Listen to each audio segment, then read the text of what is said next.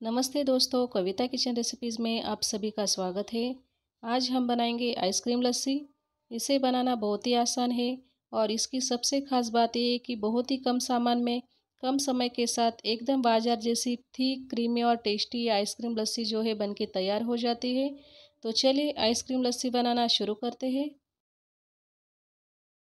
तो ये बढ़िया सी आइसक्रीम लस्सी बनाने के लिए मैंने यहाँ पर ये लगभग डेढ़ कप दही लिया है। और ये घर का जमाया हुआ दही है। आप चाहे तो मार्केट में जो पैकेट वाला दही आता है, उसे भी आप लस्सी बना सकते हैं। अब हम इसमें आधा कप चीनी डालेंगे। तो मैंने यहाँ पर ये पीसी हुई चीनी का इस्तेमाल किया है। आप चाहे तो यहाँ पर साबुत चीनी का भी इस्तेमाल कर सकते हैं। और इसके बाद इस तरह के विस्कर से इसे अच्छे से मिक्स करेंगे। आप चाहे तो इसे चम्मच वगैरह से भी मिक्स कर सकते हैं, लेकिन चम्मच से इसे मिक्स करने में थोड़ा सा टाइम लगता है। तो देखिए यहाँ पर इस तरह से ये बहुत ही अच्छे से मिक्स हो जाता है।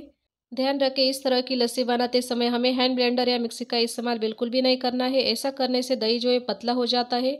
इसीलिए मार्केट जैसी लस्सी बनाते समय आपको इस बात का खास ध्यान रखना है। और देखिए, इस तरह से मिक्स करने से बहुत ही स्मूथ क्रीमी और थिक लस्सी जो है बन के तैयार हो जाती है। और इसकी सबसे खास बात यह है कि इस लस्सी को बनाते समय आपको खट्टे दही का इस्तेमाल बिल्कुल भी नहीं करना है। दही आपका यहाँ पर प्रॉपर तरीके से ताज़ा होना ज़रूरी है। ऐसा करने से क्या होता है कि लस्सी जो है बहुत ही टेस्टी बन के तैयार होती है। और आप देख सकते हैं, हमने इसे लगातार चलाते हुए लगभग चार से पाँच मिनट के लिए अच्छे से मिक्स कर लिया है। इसकी कंसिस्टेंसी आप देख सकते हैं, बहुत ही स्मूथ क्रीमी और थिक बन के तैयार हो गई है। अब हम इसे अच्छे से मिक्स करेंगे और इसके बाद इसे कवर करके लगभग दो से तीन घंटे के लिए फ्रिज में रख देंगे, ताकि हमारी लस्सी जो है अच्छे से ठंडी हो जाए। इसके बाद हम इसे सर्व करेंगे। आप चाहे तो इसमें आइस क्यूब वगैरह डाल के इसे तुरंत सर्व कर सकते हैं, लेकिन मैंने यहाँ पर दो से तीन घंटे के लिए इसे फ्रिज में रख दिया था। और देखिए, लस्सी यहाँ पर बहुत ही अच्छे से ठंडी हो चुकी है और काफ़ी थिक हो गई है। तो अब हम इसे एक सर्विंग ग्लास में निकालेंगे। तो सबसे पहले हम ग्लास में नीचे थोड़े से कटे हुए काजू, बादाम और चेरी डालेंगे। तो देखिए, मैंने यहाँ पर कटे हुए काजू, बादाम और चेरी का इस्तेमाल किया है। अब हम इसमें हमारी लस्सी डालेंगे।